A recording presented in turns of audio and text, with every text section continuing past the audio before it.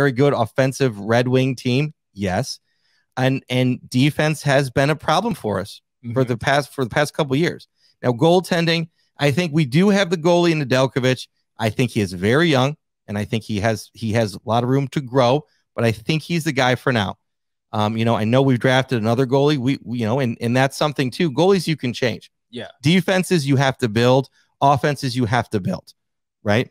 Offense we have built. Larkin scored a ridiculous goal tonight. He scored, I mean, the goals that were scored for the Wings against, you know, this 10 to 7 loss were solid goals. The Wings scored good goals, but we let in horrible goals.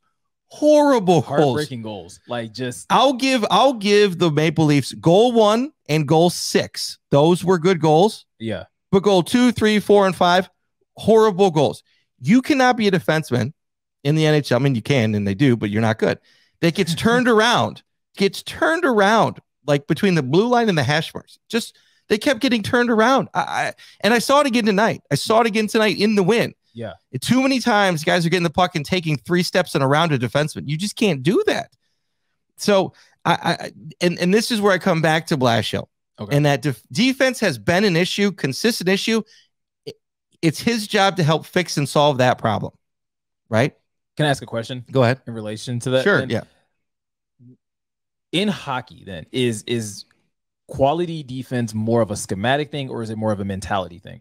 And the reason I ask that because I would sure. say that in basketball, because both of these sports are pretty fast paced, it's constantly back and forth. I feel like in basketball, yes, there's a certain level of skill that is required for defense, but it is a mentality, right? There's a reason why the Pistons haven't been as sound defensively since you know the early 2000s when you know Ben Wallace and the crew were were you know running shop at the Palace. I feel like in the NBA, defense is a mentality. You have to have that mindset of I'm going to stay in front of my man. I'm going to sacrifice my body. I'm going to do X, Y, and Z to be good defensively.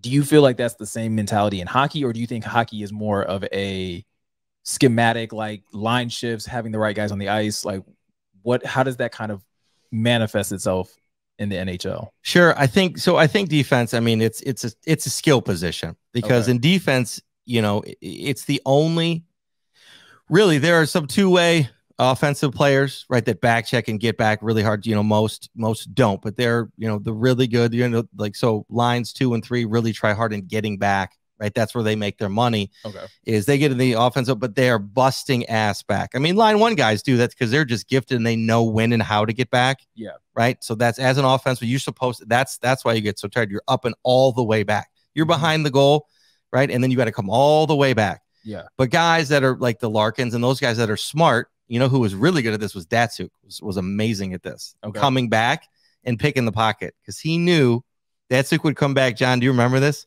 When Datsyuk would, would come all the way back and this guy was not paying attention, then Datsyuk was fast to sneak up behind the guy and the guy would lift his head up, about to pass it or shoot. And he, Datsyuk would just lift up a stick and take the puck. Guy didn't even know what happened. And we're going the other way. Yeah.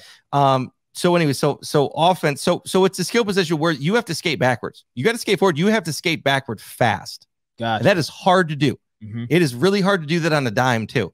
Mm-hmm. So to me, it's it's you know it's it's a very skilled position, okay. and so we are in the middle again of a transition from a bad team to a good team, mm-hmm. right? And so championship teams, you know, are built with defense because like Nick Lidstrom back in the day, he would quarterback from behind the net, right? He would get the puck, settle it down, and then we'd break out and we and we would we would move forward as a group. Yeah. I feel like there's no one in our defensive unit to slow the game down.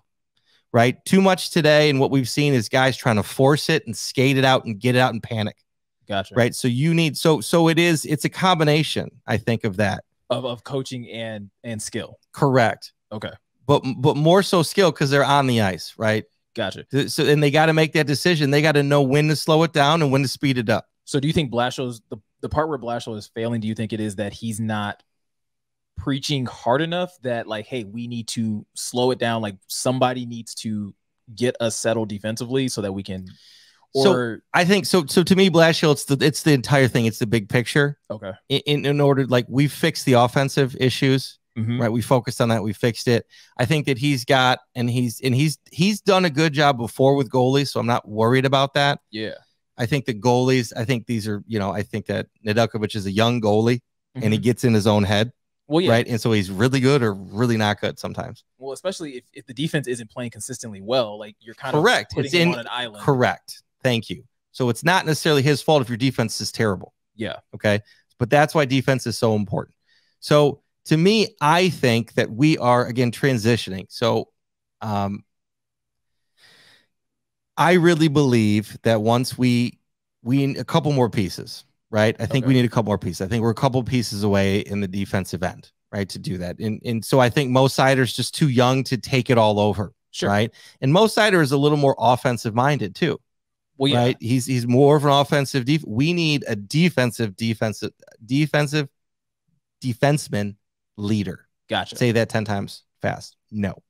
um and so I think we'll find that, right? And and maybe Mo turns into that a little bit and, and understands. And again, Nick Lindstrom is is come back, right? He's going to be part of the organization and in, in charge of the players, right? And and it'd be the the the, the left hand of Stevie.